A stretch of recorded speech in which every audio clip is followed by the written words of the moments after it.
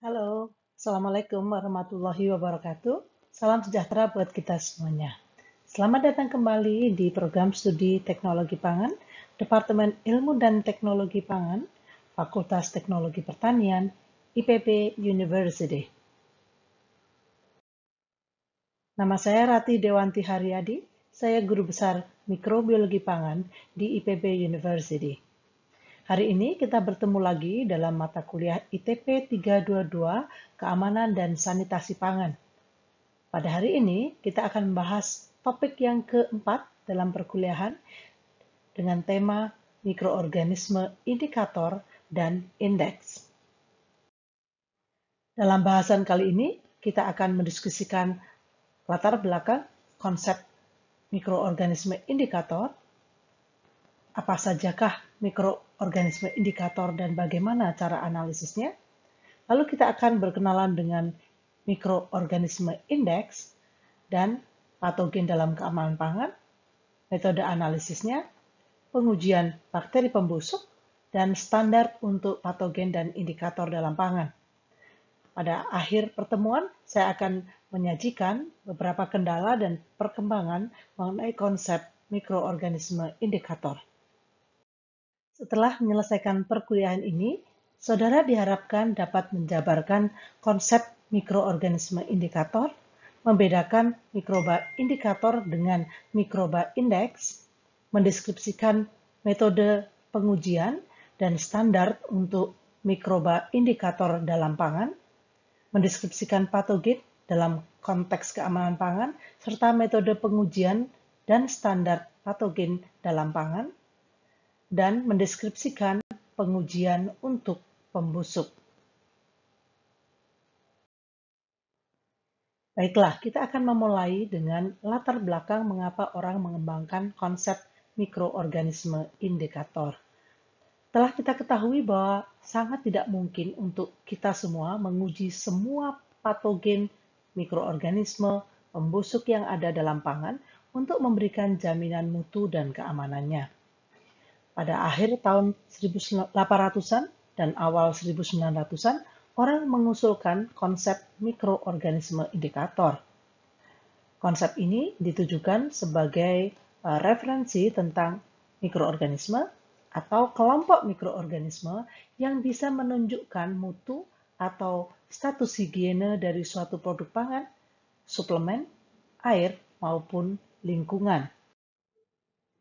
Ide awal konsep mikroorganisme indikator adalah didasarkan pada anggapan bahwa sekelompok mikroba tertentu dapat menunjukkan keberadaan atau pencemaran oleh fekal material dan dapat menggantikan keberadaan salmonella. Tetapi pengujiannya lebih sederhana dan lebih cepat. Oleh karena itu, mikroorganisme indikator diharapkan dapat mengindikasikan kemungkinan keberadaan patogen dalam hal ini salmonella, ketidaksesuaian dengan persyaratan sanitasi yang ditetapkan dalam GMP, atau kegagalan proses. Untuk itu, eh, disusunlah kriteria bagi mikroorganisme indikator. Pertama, dia harus berada ketika patogen juga ada, tetapi tidak ada jika produk tersebut tidak tercemar. Harus berada dalam jumlah yang lebih besar daripada patogen. Kemampuan menyintasnya dalam lingkungan harus sama terhadap atau dibandingkan dengan patogen. Tidak boleh berbahaya pengujiannya dan harusnya uh, tidak mahal serta mudah untuk pengujiannya. Dengan ide tersebut, maka pada awalnya mikroorganisme indikator yang digunakan adalah coliform yang direkomendasikan pada awal 1900-an sebagai mikroorganisme indikator untuk pengujian air. Kemudian, coliform fekal dan E. coli digunakan karena anggapan bahwa mereka lebih spesifik dalam mengindikasikan potensi keberadaan patogen. Di Amerika Serikat misalnya, eh, organisasi tentang susu pasteurisasi mempersyaratkan bahwa susu pasteurisasi dan produk-produk susu harus diuji untuk keberadaan coliform. Siapa sajakah yang masuk ke dalam coliform? Coliform adalah kelompok bakteri gram negatif, oksidase negatif, tidak membentuk spora, aerobik sampai dengan fakultatif anaerobik dan batang. Bakteri ini memiliki sifat unik atau kelompok bakteri ini memiliki sifat unik yaitu memfermentasi laktosa dan menghasilkan gas serta asam pada suhu 35 derajat. Coliform terdiri dari Citrobacter, Enterobacter, Escherichia, Klebsiella, Serratia, dan Hafnia. Coliform merupakan mikroba alami yang ada pada saluran usus manusia dan hewan, walaupun beberapa dapat ditemukan pada tanah dan air. Di antara coliform yang ada dalam usus manusia, satu persennya adalah Escherichia coli atau E. coli. Nah, karena beberapa coliform ternyata dapat ditemukan di luar tubuh manusia, maka keberadaan coliform tidak selalu menunjukkan kontaminasi fekal. Seperti telah disampaikan sebelumnya, usulan kemudian juga bergeser pada penggunaan fekal coliform sebagai mikroorganisme indikator. Fekal coliform adalah coliform yang memiliki kemampuan memfermentasi laktosa pada suhu lebih tinggi, 44,5 sampai 45,5 derajat Celcius. Oleh karena itu, kelompok ini juga disebut sebagai coliform termotoleran. Fecal coliform dianggap e, merupakan indikator yang lebih baik dan kelompok ini memiliki anggota lebih kecil yaitu hanya Escherichia coli dan Klebsiella. Mikroorganisme lain yang digunakan adalah Escherichia coli. E. coli adalah bakteri yang paling dominan di dalam usus manusia dan juga mamalia. Meskipun tidak tumbuh secara signifikan dalam air, tetapi dalam air dia dapat menyintas cukup lama, berminggu-minggu, sehingga dianggap sebagai indikator polusi yang baik dalam air. Hal ini sering diterapkan untuk uh, air minum atau di Indonesia dikenal sebagai PDAM E. coli memenuhi kriteria yang mendefinisikan chloroform dan juga fecal coliform dan dapat dibedakan dari Klebsiella sesama anggota coliform fecal dengan pengujian biokimia.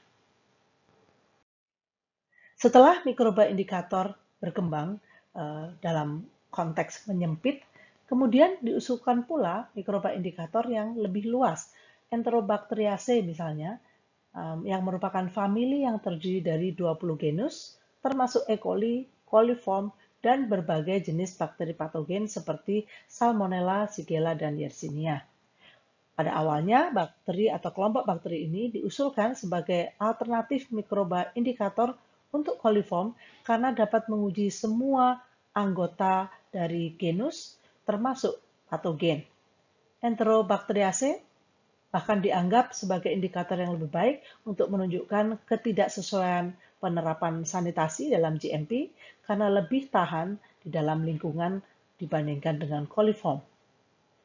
Perbedaan utama coliform dan Enterobacteriaceae adalah dalam kapasitasnya memfermentasi laktosa. Enterobacteriaceae tidak memfermentasi laktosa tetapi glukosa. Jadi kalau kita lihat Indikator mikroorganisme awal berupa coliform menyempit menjadi coliform fekal, bahkan Escherichia coli, akan tetapi akhir-akhir ini juga digunakan indikator yang lebih luas, yakni Enterobacteriaceae. Di samping keempat bakteri yang sebelumnya digunakan sebagai mikroorganisme indikator, kadang-kadang digunakan indikator lainnya seperti Streptococcus fekal Kelompok bakteri ini adalah bakteri gram positif, bulat, baik sendirian maupun dalam rantai, dan memiliki sifat koagulase negatif eh, dan dapat tumbuh pada suhu tinggi seperti halnya eh, E. coli fekal. Yang termasuk ke dalam kelompok Streptococcus fekal adalah Streptococcus faecalis, Streptococcus faecium, Streptococcus durans, Streptococcus bovis, dan Streptococcus equinus. Bakteri ini kadang-kadang juga dikenal sebagai Enterococcus faecalis. Digunakan sebagai indikator karena memang tinggal di dalam usus dan dapat mengindikasikan kontaminasi fekal. Ada kelebihan dari penggunaan Streptococcus fekal ini sebagai mikroorganisme indikator karena bakteri ini lebih uh, lama bertahan dalam air, maka dapat menjadi indikator yang lebih baik dibandingkan E. coli ketika jarak antara titik sampling dan laboratorium jauh, dan juga jika air telah mengalami disinfeksi yang diperkirakan telah membunuh Escherichia coli. Jika dibandingkan dengan E. coli, maka Streptococcus fekal ini uh, lebih kecil kemungkinannya berada pada manusia dan hewan peliharaan. Uh, dari data yang dikumpulkan, maka jumlah E. coli dibandingkan dengan jumlah Streptococcus faecalis pada uh, manusia dan hewan peliharaan adalah 40 banding 1. Akan tetapi secara umum pada hewan berdarah panas, jumlah Strep faecalis lebih besar ketimbang jumlah E. coli. Ada beberapa permasalahan dengan penggunaan Streptococcus faecalis sebagai uh, mikroorganisme indikator.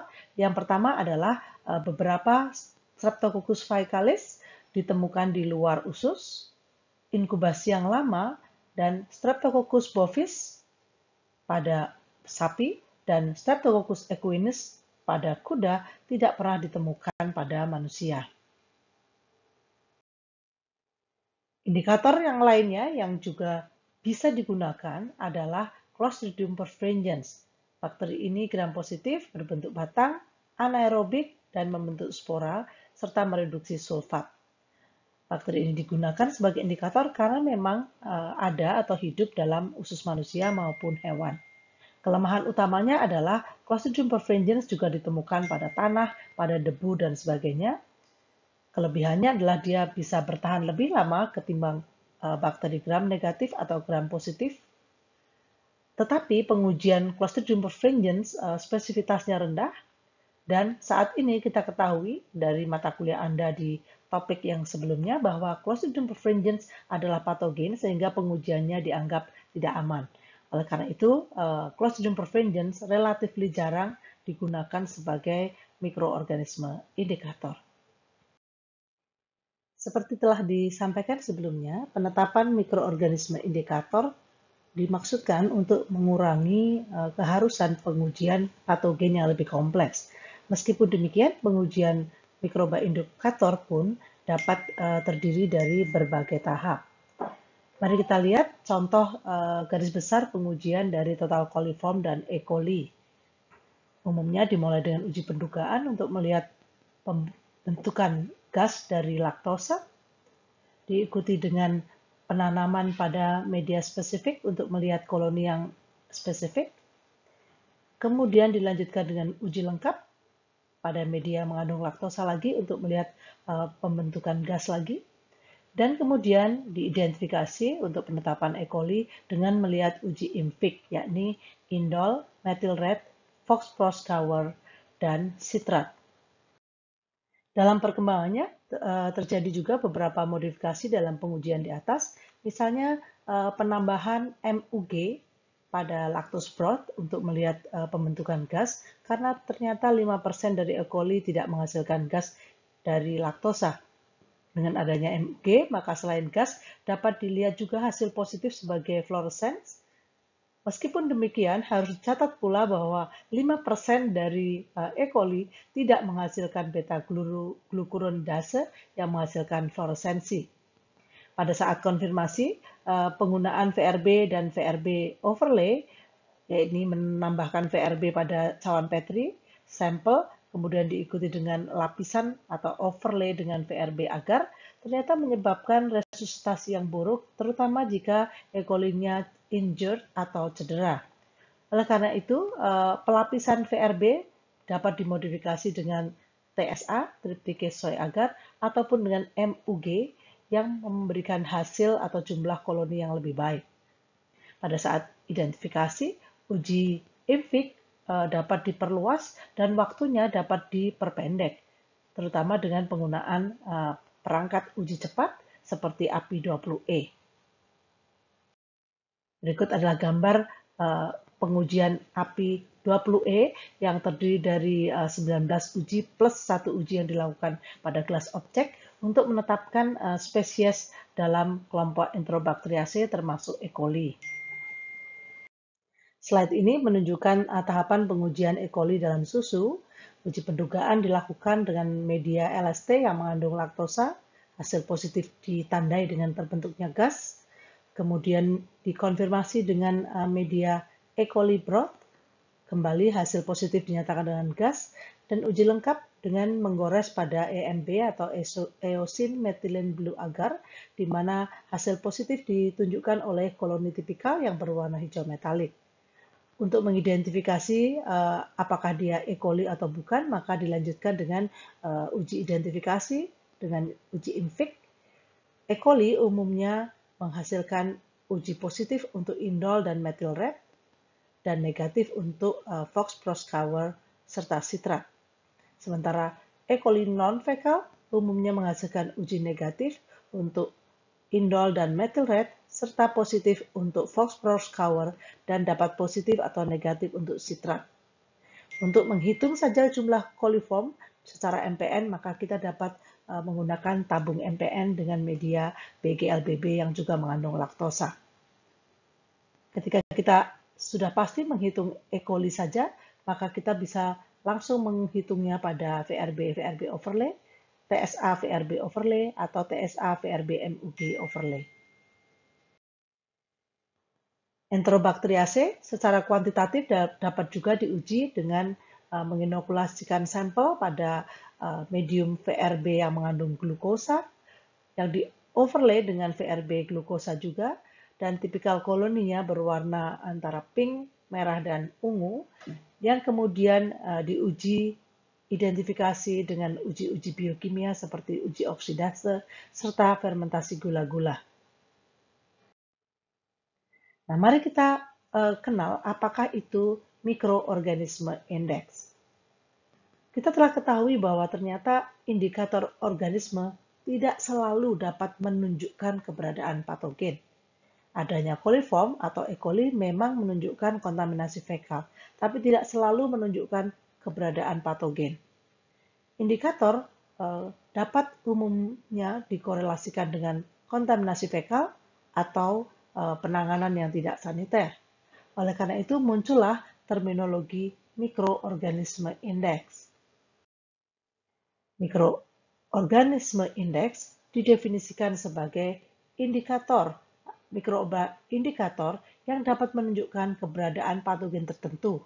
Contoh yang paling baik adalah Listeria, Listeria spp, adalah mikroorganisme indeks bagi semua spesies E. coli, termasuk di antaranya Listeria monocytogenes.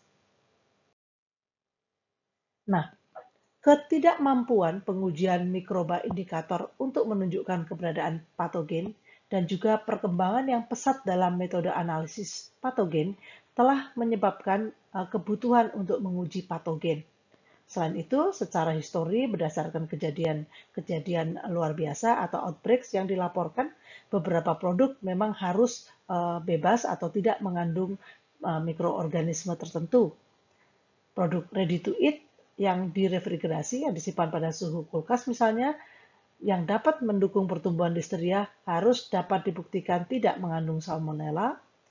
Di situ dikenal uh, konsep uh, zero tolerance, dan umumnya uh, diaplikasikan pada pasangan pangan dan patogen tertentu. Pengujian patogen adalah parameter penting untuk memastikan keamanan pangan. Berikut adalah beberapa persyaratan pengujian patogen untuk produk-produk tertentu. Salmonella dalam susu bubuk misalnya, berdasarkan persyaratan dari Badan POM Indonesia, mensyaratkan pengambilan 5 sampel dan semuanya harus negatif dalam 25 gram. Sementara di Kanada, dengan 20 sampel, semuanya harus diuji menghasilkan hasil negatif juga dalam 25 gram.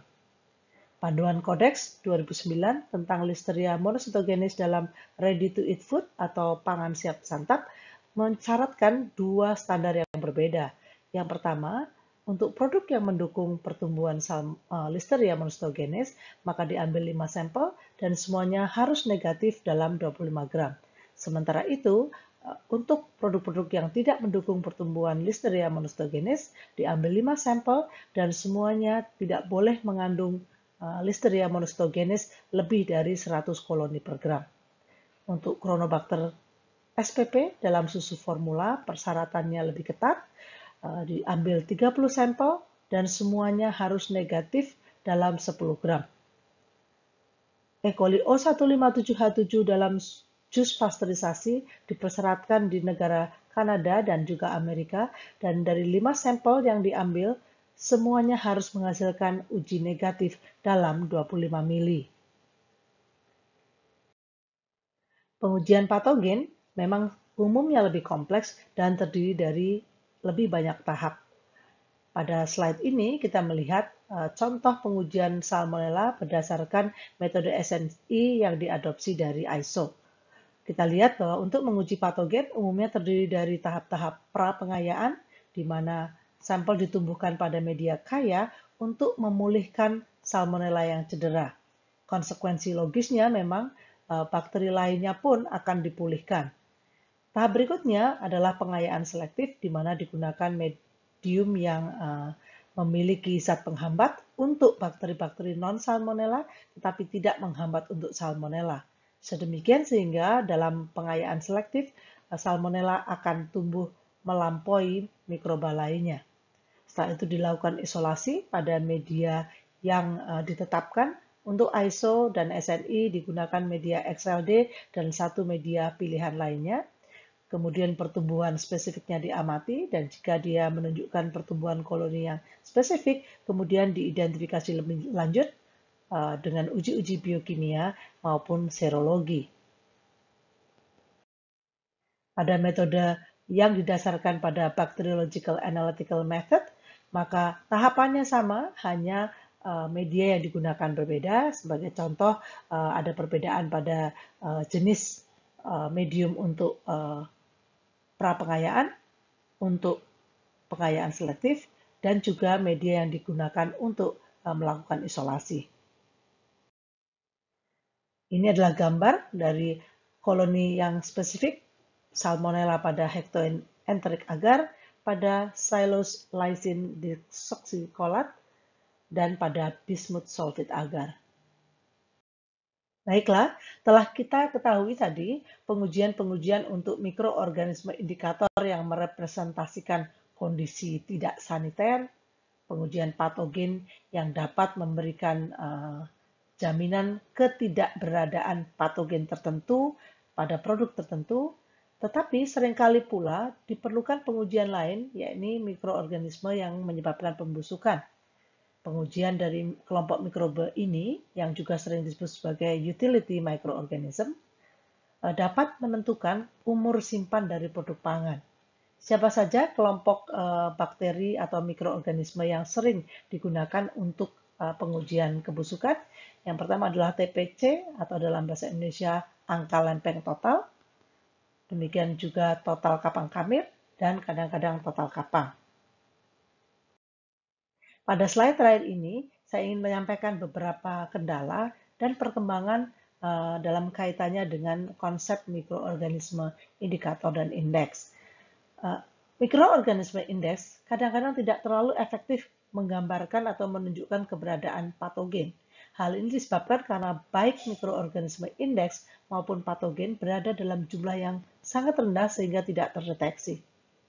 Di samping itu, coliform fekal atau termotoleran dalam hal ini E. coli dan Klebsiella pada pangan segar memang merupakan uh, indikator yang baik untuk kontaminasi fekal, tetapi uh, ternyata tidak uh, merupakan mikroorganisme indeks yang baik untuk E. coli O157H7 maupun Salmonella. Coliform termotoleran juga bukan indikator yang baik untuk fekal kontaminasi pada produk-produk yang direfrigerasi, tetapi dia hanya menunjukkan ketidakcukupan uh, refrigerasi atau pendinginan. Oleh karena itu, uh, ada beberapa pemikiran yang menghendaki bahwa pada saatnya nanti indikator tertentu atau mikroorganisme yang spesifik harus ditetapkan untuk produk pangan tertentu pula. Baiklah, mudah-mudahan materi keempat ini bermanfaat. Kita telah mengetahui apa itu mikroorganisme indikator, apa bedanya dengan mikroorganisme indeks, dan apa konteksnya dalam uh, keamanan pangan ataupun mutu pangan, serta apa bedanya dengan patogen serta pembusuk. Terima kasih atas perhatiannya. Assalamualaikum warahmatullahi wabarakatuh.